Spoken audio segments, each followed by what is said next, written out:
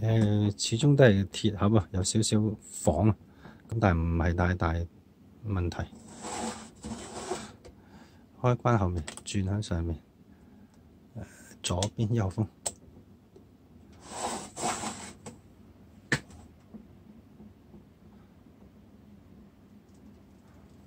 先定咗佢先。如果你發現佢罐底同台面撞咧，裏面要擺些少嘢。頭先拍住第一次就有嘢撞，咁咧大風嗱，誒嗱佢喐佢嗰下咧，佢就會撞到有聲。咁你撳實佢或者擺啲重嘢，就就避免咗震動。因為空咧好，一般大風扇咧個底咧要有有個鐵片喺度。